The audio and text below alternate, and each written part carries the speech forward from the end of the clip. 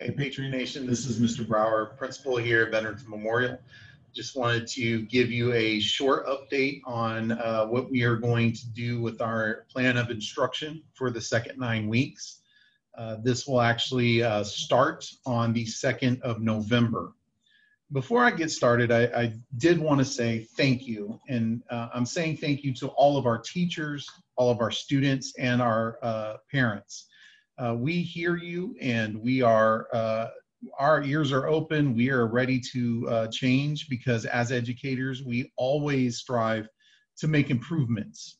And uh, i will also be on uh, next week thursday at 6 p.m we will hold a facebook live and i will go into more in depth in, in what we're about to explain here uh, and try to make sure that the students and you parents uh, and our teachers are all comfortable with what is to come. To start off, I, I want to just cover uh, very clearly that our in-person instruction is going to continue. It's not going anywhere. Our virtual instruction and Zoom, uh, that will also continue, and that's that's not going anywhere. Uh, how it looks may change, but we we definitely will be offering all of these uh, same services that we have. Uh, students have the option to be completely in person, and students also have the option to be uh, virtual if they if they wish. Uh, we do want better for our students, and so we are going to make a change in the way the instruction is provided, uh, and we think that will benefit both our in-person and our virtual students. So before I go into what the change looks like, I want to kind of cover what the, the current instructional setup has looked like here at Veterans for the first nine weeks. Uh, our instruction has been the, the teacher is teaching to the Zoom. They're seated at their desk. Uh, they are talking to the screen, sharing a PowerPoint. There, there's little to no movement and uh, there really is no difference, a very minimal difference between the in-person students and the virtual students. Uh, matter of fact, the only difference has been the in-person students are still in the room. So when the Zoom gets turned off for that period, they they still can raise their hand and ask a question. But in large part, the in-person students had their their Chromebooks open and were watching the same Zoom that the teacher 15 feet away were was providing. What we're going to do is we we asked ourselves, are we really getting the most out of our in-person and our virtual students?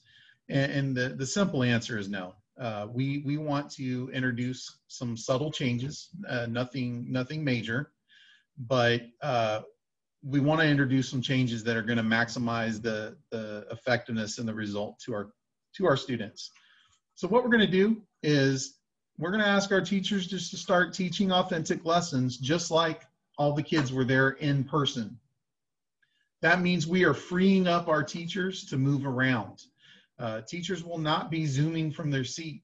They will have movement, be able to use body language and show emphasis uh, to the important parts.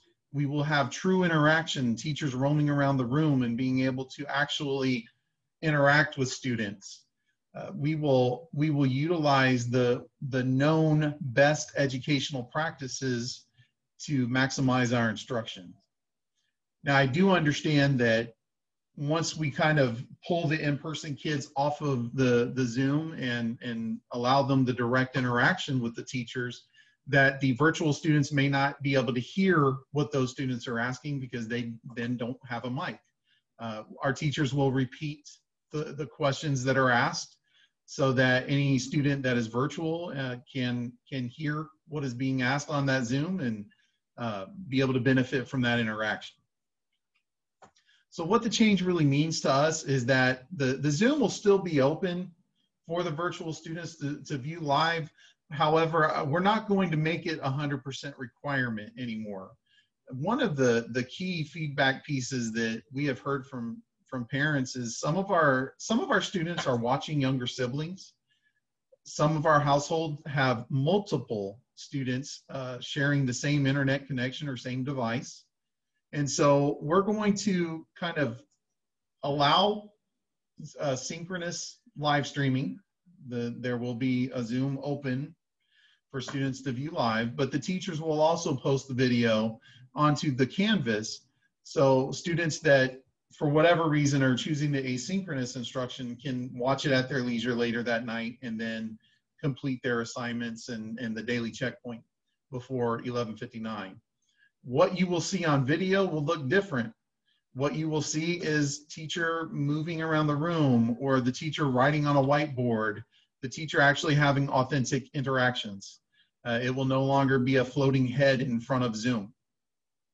We understand that uh, the resolution of the, the webcams may not be uh, sophisticated enough to, to pick up everything that's written on the whiteboard. Uh, so we are asking the teachers to either uh, post an electronic copy of the notes or which I think is even better is use a student uh, set of notes and copy that and upload it because truthfully students learn better from other students. So the, the, the in-person students and the virtual students will still get the same instruction, same notes, same everything. So what are the benefits to doing it this way instead? Well, if you're an in-person student, you get your teacher back. The teachers can use all the different activities that they were trained and uh, learned through professional development to implement. And I think the varied strategies that the kids will see in person uh, are going to benefit them. If you're a virtual student, you get to see real, live, authentic instruction happening instead of a Zoom. Uh, you'll still be able to interact with your teachers and attend the live Zooms if you're able. You can you can uh, participate completely asynchronously if if you need to, uh, but the option is always there to to be on Zoom at the same time. So how can virtual students really interact with a teacher if the teacher's roaming around the room and not necessarily able to see chat and things like that? Well, three times a week, the teachers will dedicate time to be on Zoom the last 15 minutes of class to help answer any questions there may be. Teachers still have their daily virtual office hours to answer questions live. And then also we have the discussion board feature in Canvas where if a asynchronous student watches uh, or a virtual student watches the instruction, they then can post a question and answer other student questions in the discussion board. This has two benefits. Number one, the, the students have various means to ask questions and get answers. And the other benefit is our virtual students now have an opportunity to have some interaction with the in-person students. And, and that's definitely a benefit. So what's the catch? Well, certain classes may require live Zoom or in-person attendance. Uh, these are most often opt-in courses, uh, such as when you went into cosmetology, you realized you were going to have to probably uh, be be zooming live because it's a performance and you need to be judged on how how well you do uh, your job. Uh, some fine arts, if you're in band or choir and it's a performance day, you may be required to either show up in person or be on the live Zoom. Uh, advanced placement and dual credits uh, classes th those are classes you're opting into. They're rigorous and they're, they're quite simply is no uh, replacing the interaction that is live with the teachers. So uh, you, you can most definitely expect that they're gonna need you to be, be connected during the class time. Uh, other classes could be like resource classes, um, art class. If you're doing pottery, you probably need to be able to have the teacher uh, you know, give you feedback live instead of waiting until the next day. Uh, your pottery will have, have dried up by then. So there are um, certain courses. We will be emailing out a list of all of these courses that, that uh, would require um, either every day to be live or certain times throughout the, the week or uh, nine weeks to, to be live. So uh, I, I really thank you for for watching this short presentation. Uh, I'm excited to see the the increase in instructional engagement, and uh, I just want to thank all the the students for your effort. I know this has been different, and I know you didn't ask for this, but I really appreciate the the effort you're showing. And uh, parents, I'd like to thank you and encourage you to join our Facebook Live next week, uh, Thursday, 6 p.m. and uh, have a great day.